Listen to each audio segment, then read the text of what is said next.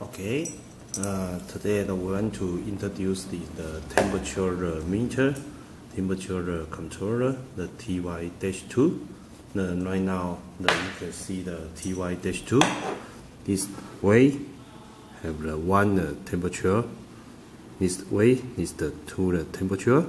Okay, this is the power lamp and the power switch. So uh, we have the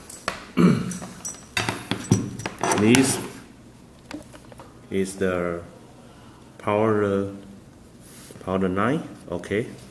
Okay you push the this the power in AC the voltage with the one one zero so this is the plug in. Okay you put in the plug in in the, this the temperature panel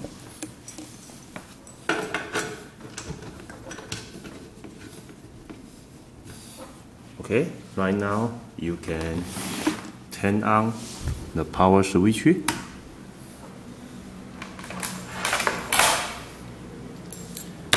also in here we have the two the temperature the, the sensor. You can put in temperature sensor the thermocouple the one and two. Okay, you can right now to look at this.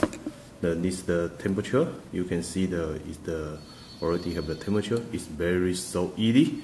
You can detect any in the water, put in in the water, or in the any the you want to detect the temperature.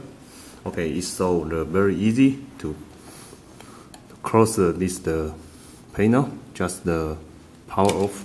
Okay, the totally you can find the, the power is off.